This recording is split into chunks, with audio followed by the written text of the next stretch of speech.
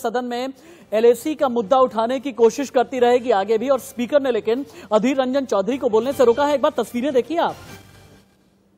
Sir, मैं sir, मैं आपकी ज़रिए ये सरकार को और खासकर हमारी देश की रक्षा मंत्री को ध्यान आकर्षण करना चाहता है। वह लुको ना।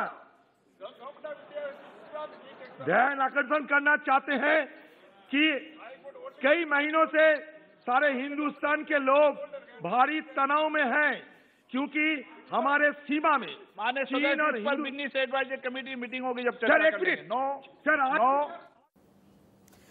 तो लोकसभा में कांग्रेस के नेता अधीर रंजन चौधरी चीन का मुद्दा उठाने की कोशिश कर रहे थे और चीन के मुद्दे पर सवाल भी पूछना चाह रहे थे कह- ये भी कह रहे थे कि देश ये जानना चाह रहा है कि चीन सीमा मुद्दे पर इतना भर ही उन्होंने बोला होगा तभी लोकसभा के स्पीकर ओम बिरला ने अधीर रंजन चौधरी को बोलने से रोक दिया।